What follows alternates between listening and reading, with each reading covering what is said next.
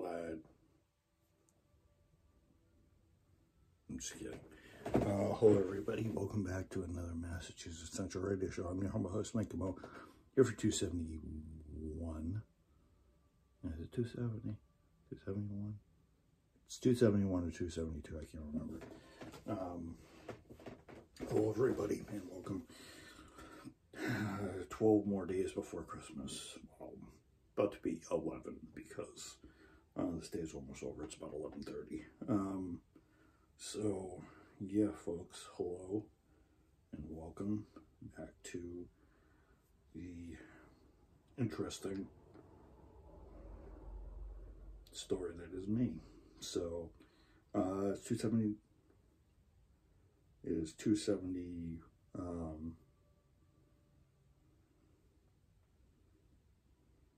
yeah, it's going to be 272. Yep, today's 272. And thank you for the two viewers and the, the radio, the Gear Change show, got 4.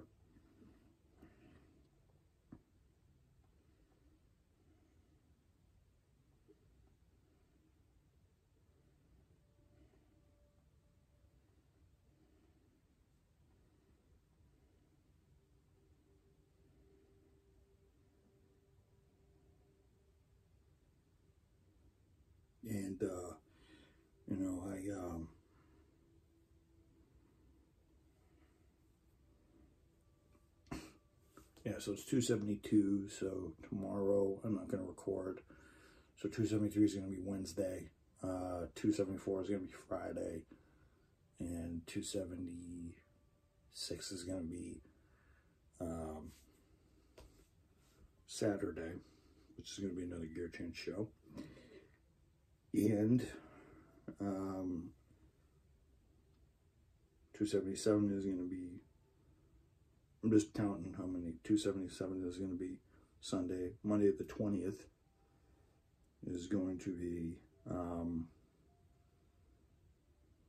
278. 279 is going to be Wednesday. The, um,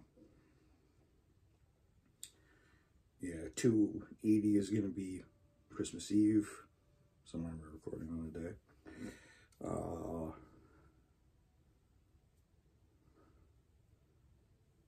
Two eighty one is going to be um, Christmas. I will record at the end of the day. Two eighty two will be um, will be twenty sixth. Two eighty three will be um, be Wednesday the 27th and 284 will be um, the New Year's Eve. I don't know what I'm doing on New Year's Eve. Um, be 285. So we're gonna get so we're gonna get to 280 something. So, so we're gonna get to 285 if I play this right. We might get between 270, the late 270s, the early 280s. It depends on what I want to do, but we are in that time frame, folks, where um, where I'm gonna. So I kind of had a feeling we were gonna be at 280s, 270, 280 somewhere. So I think it's doable where we can get to 280, um, 280, 285. Uh, yeah. So you know, pretty interesting run. So next week on Wednesday the 22nd is going to be the um, state of the channel address. That's when I go over everything, go over all the stats, tell you guys what's been happening with um, tell, tell you guys what's been happening with the um, channel, see what trends have been going on, and uh, see what you guys are liking, and see what you guys are not liking, and see what the audiences. I do all this so I can improve um, the viewing experience and continue the episodes. um, and continue the episodes on and on and on. So uh, you guys are going to be in very good hands um, for uh, for next year because which means if we hit like 285 if we hit if we hit 285 on the 31st which I want to do and I'm driven to do this that's I think I've shot like four of these in a row which is great um, we can definitely hit 290 by um, well, seeing as we have like 25 days, since I have like 25 recording days and that potential recording days, I can definitely get into the uh, 285. Um, so if I record 25 next month, um, we're going to definitely get into the um, we're definitely going to be at 295 by the second or third week in, in uh, January. And uh, yeah, the second or third week in February. Uh, I mean, January. And then we're probably going to hit 300 something by 300 something by the end of January. So we're going to be, so we're going to hit 300 sometime in January.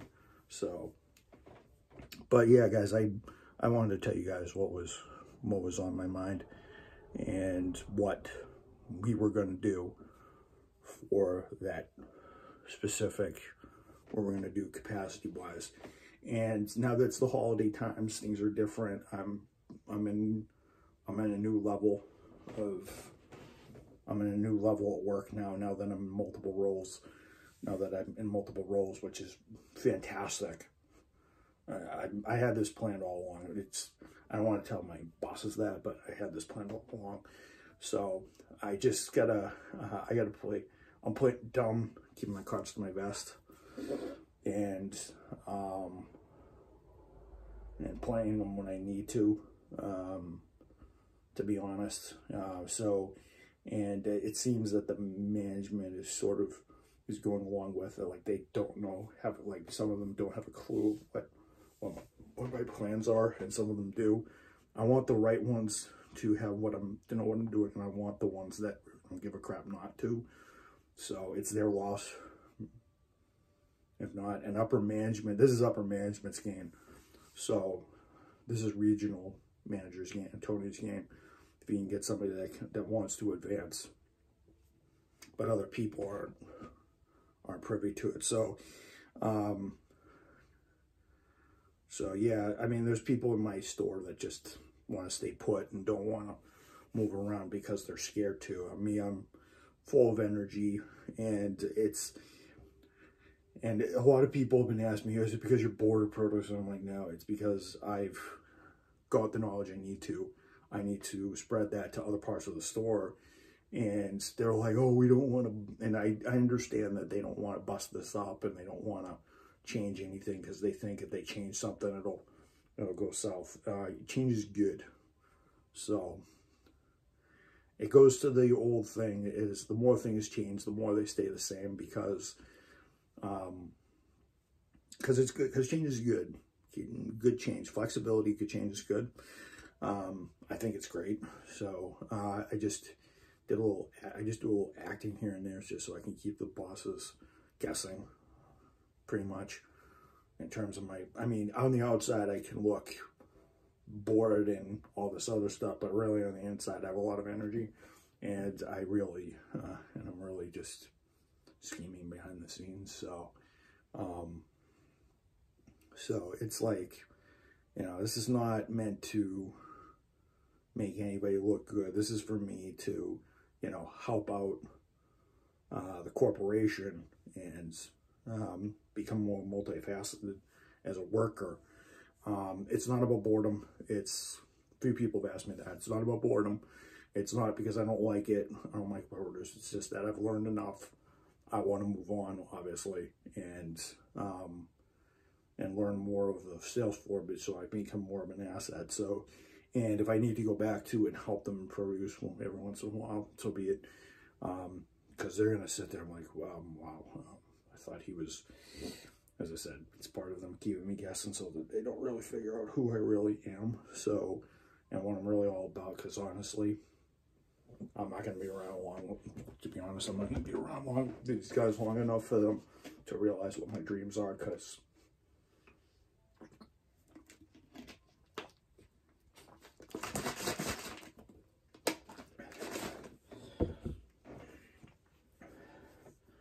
because they're kind of a guinea pig. I, I hate to use this word, but this corporation I'm working for, this union, is more of a guinea pig for my future endeavors. So there's always going to be one, one peep, one group that's going to be a bunch of guinea pigs, and they're not really, they're not really there for me to. I'm not really at that job to please anybody. I'm not there to make anybody really look good, even though I act like I am. I'm not really there to please anybody and whatnot. I'm there to advance myself so I can go higher and so I can test my my strength and my old reflexes. And a lot of people don't understand. A lot of people at this point they've only seen me in my old my old state, uh, my older, well, my more my more worn state that I had back in the Target days, but this is more of the school days, and these guys do not know what that is. So, so I've switched to a um, persona that's really not. They really don't know how to. They don't know which way I'm. I'm really going, or I'm moving fast enough mentally to where they don't really get it, and that's the design of this whole thing because uh, you have to think in order to survive in a corporate structure, you have to think faster, you have to think stronger, and you got to think silently to yourself in order to outdo your competition because the more advantage you have over your competition are the people who think that they're good. Usually those are the people that weigh themselves down um, with responsibilities and they stay complacent and they get too cocky and they just think they know everything. But um, so it's it's not a I have a lot of energy and it's not it actually it's not energy. It's more drive most likely. It's more it's more of a drive type thing with a guy with with a guy like with in guy terms um it's more drive and uh it's more drive most likely. It's not energy. It's it's mostly drive to do things. There's no, there's, I hate it when people use energy a lot, but energy helps generate, the, the thing that helps generate the drive um, is pushing yourself forward and thinking because energy, as you guys know it, in any shape or form, if it's not doing anything, it's kind of idle. It's, it's kind of really useless. It's uh, going to have a mindset um, energy is great. It's great to have all the energy and it's great to want to go places and stuff like that. But you got to move. You got to keep your drive. You got to have something. You got to have an ideal or a setting uh, or a setup where you can turn the energy into drive to go forward, to push yourself forward and to learn more. Um, and it just sucks when there's other people around you that don't really understand that um, in order to satisfy that drive in my in my in my experience in order for me to satisfy the drive inside me and my side mentally i have to keep challenging myself to do more and and obviously that drive will help me learn more um, stress less, learn tasks, and go into things and switch modes without having to sit there and go, oh, this is going to be a hassle. I have to go back and do this crap. It's more like, oh, I know how to do this again. It should be a piece of cake. So, but most of these guys that I work with, some of them are like, oh, we have to do this crap again. This is horrible.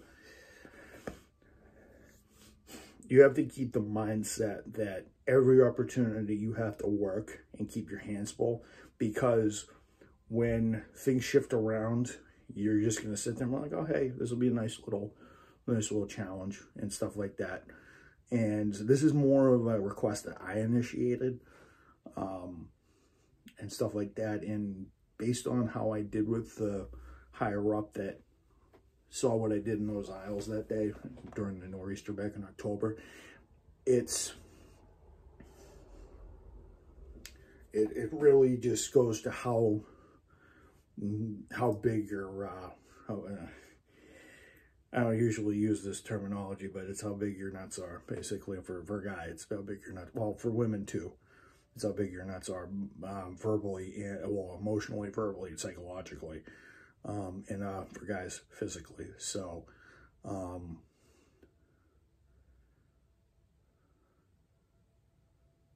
well, yeah, I mean, uh, for women, it's psychologically and emotionally that gives them the, uh, that gives them the, the the cojones, the nuts, so to uh, to do whatever. So never thought I'd talk like that, but I know you guys have heard everything. So, um, but yeah, it's and I've seen it in plenty of women. Plenty of women have the drive, they have the set of balls to mentally and emotionally and uh, to do that. Um, I know plenty of women that have advanced themselves and do it because they're confident in themselves and it's the way they should be because as a, I mean we're all emotional beings but um, when women have that drive when they have that um, that emotion to carry them same thing with guys too that's just that drive that they have I think men and women have have the drive both emotionally and metaphorically and that's what keeps us alive and that's what keeps us getting up in the morning and going to work and stuff like that. That's what keeps me going, knowing that I want to keep pushing myself and learn something every every darn day and better myself. And it's just not that I don't want to and stuff like that. So, you know, it's, so that'll be good for 2022. And um, seeing as the system in my work is a little flawed and they move changes all the time, this might be an opportunity for me so the, the more, as I said, the more things I learn, I'm like, you know, I'll just strap back in here and I'll, I'll do whatever. So, um, and do it without question or without, without hassle. I mean, I, I mean, I said a few things when I was asked to move. I said, yeah, you guys should be a little bit more prepared when I make a switch, when they make the switch, make the switch, because, um, Dave and uh, Pete, my manager and the uh, supervisor of the floor, um, definitely know I want to do this and um, and they're definitely going to tell the associated parties to get their act straight so that they can utilize me a little bit more so that they can utilize me a little bit more. But um, I'm just going to keep it in mind that I can do um, that if I do have to move around because there's some problem or if they have some issue um, you know it's it's right there. So I'm, so as I said, I'm a utility man and whatnot. Um, but yeah, I think 2022, 2023 is going to be, to be fun, especially when I go back to school. But, um, I'm just to have as much fun as I can making all this money that I'm probably going to make now that I know more than one area. So, um, and I don't think some of the people and some of the, I don't think some of the people in the store really want to do that because, um, but I guess I may have caught the eye of corporate, like, oh, hey, this guy wants to move himself forward. He just doesn't want to lag behind in one area. It's about that energy. It's about that drive. And um, corporations want that because obviously I'm playing to their strengths and they're playing to mine um, because I know how to speak their language without being about being stupid. I can be very professional if I, I can be very professional and be, um, and also, you know, experiment with certain decisions because um, business, and as I've seen in history, whether it be in automotive or science, it's all trial and error. So, um, with tasks and, you know, improving the brand, I mean, um, Tesla wouldn't be, um, Tesla wouldn't have been sustain a sustainable company if they just made a roadster. They'd have to make a four-door, a big four-door, uh, a convertible, uh, not a convertible, but a, an SUV type, and then a truck. They're coming out with the Cybertruck soon. Um, I think they're also coming out with a semi too. And then they're coming out with a roadster, I think in 2024, 2025. I can't remember what, when they're coming out with it. Um, or the coupe. It's not really a roadster. It's more of a coupe, actually, unless they have a a detachable hardtop on it. Um, and all the automotive companies, they all have to do this because um, I'll uh, actually I'll tell you that probably in the next gear change show because I can't utilize it. But all the companies, whether it be Ford with the GT40 or um, actually, you know what? I actually have the story for the. I actually have the. I actually have the story for the. Um, I actually have my uh, my topic. I mean, the trials and errors in the automotive industry and racing. So I just got my topic for uh, the Gear Change show on on Saturday. And I'll I'll research a bunch of them, ones I know, and um, and uh, you know, there's plenty of um, trial and error ones. I'm pretty sure I'll pretty sure Panoz in in uh, the LMS with one of their LMPs that was supposed to dominate the European entries, even though it never happened. But that's the gear change show. Uh, trial and error in in American motorsports. So that's gear change show topic for that. Um, so yeah, and it's what's it about 252, 152. All right, guys. Um, I'm definitely gonna fun next next year and the year after, and uh, they're gonna move me around. Uh, the mainstay is, is I'm gonna make as much money as I can, and I'm gonna use all the skills that I have to you know work my way around. Um,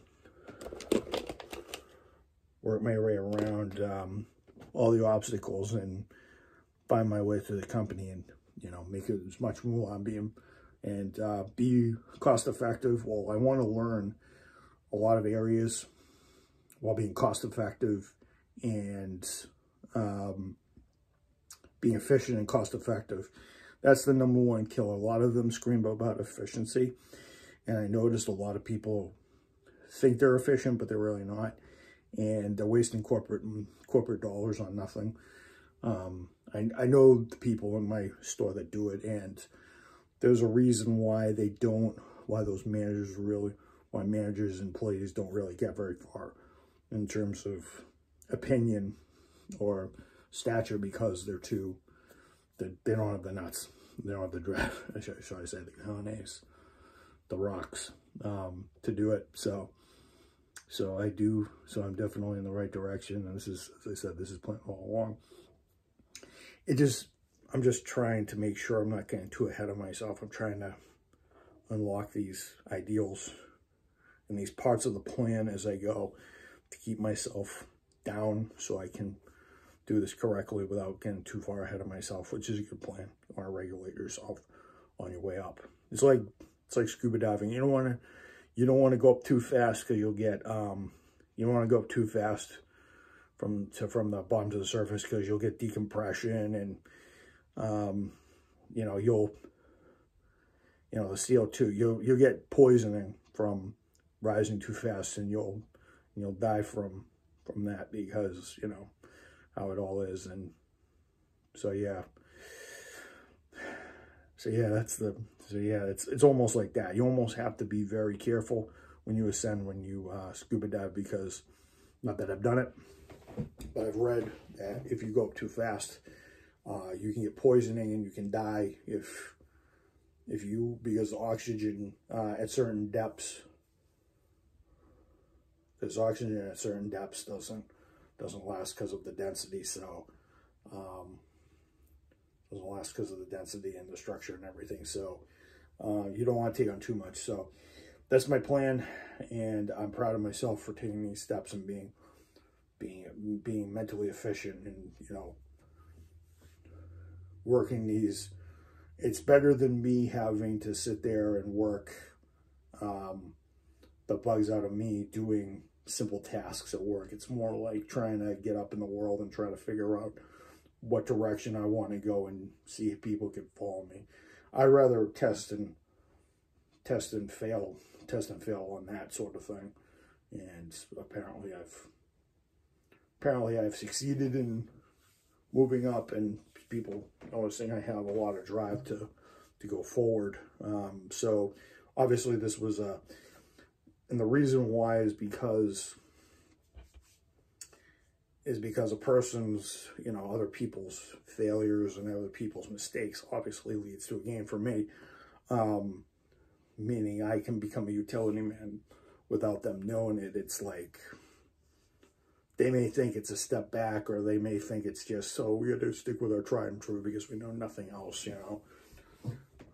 We know nothing else when it's when I just can just go back in and just slam around. I actually noticed when I was uh, in produce on Saturday, it's actually quicker, more efficient, and more um, and more attentive to my to my tasks, and you know just sitting there whatnot, and uh, just sitting there whatnot. But it's it, you know the crew that they have in produce needs to be beefed up a little bit, um, and I'm not really gonna, and I will go back there just to make sure it stays stable. But I can tell that they need um, somebody who will put food down a little faster and serve the customers a little bit better. Something that I can do. It's if serve the customers. If anything, I can serve the customers very well, and they don't want to lose that, obviously. But I also need to go on the sales floor also. So it's uh, is a bit of a balance, and they don't understand that I'm more guest service oriented as well. So, um, which I do find, and and they don't see that, but you know they don't mention guest service at all. I mean, they said, oh yeah, you have to have, we want to have field presence, so you know you can you can help guests and stuff like that. That is the first time in that's the first couple of times in months in the conversations that uh, that we've had that they've actually have uh, actually said that, you know, um, and you know, it's just not about being there to assist the guest. It's, you know, having somebody just in there to assist the guest. It's, you got to have somebody in there all the time and presence is not enough. So, um, so yeah, they, if they're squawking about that, um, and it's just for presence because they want to look for something for a defect. I mean, it's, I serve people fine. You know, if it's, if somebody's out of the section because they have to go to the bathroom, um, it's not hard to, it's not rocket science to take a look around and see if there's anybody in the section and just sit there go like, I want to, uh, I, I just got to sit there and say, can I really hold this or can I hold off not getting a drink of water? And it's the reason why I bring, bring a bottle of water with me in the section so I don't have to go up to the front and get a drink from a water fountain. Not that I want to. I'd rather drink my own water out of a water bottle so I don't get sick from COVID because some guy put his mouth on the bubbler. Um, yeah, I'd rather have my own stuff. It's, uh, it, it, uh, it definitely uh, helps if you do that. So. Alrighty guys, I'm to put this one to do. It's about 11, about 11.59. This will probably be uploaded by, I don't know, 12.30. So, as usual, everybody, long live America, bless America, uh, long live America. Um, pray for all my friends, uh, past and present, and uh, all the souls out there that we've lost, either to, to um, we lost to uh, COVID or to natural causes, let their spirits stay strong and let them keep let us keep them in their hearts. Um, and uh, I will see you guys for 273 on Wednesday. So, so folks, and good night, folks. Is the broadcast for today. And that's the way it is.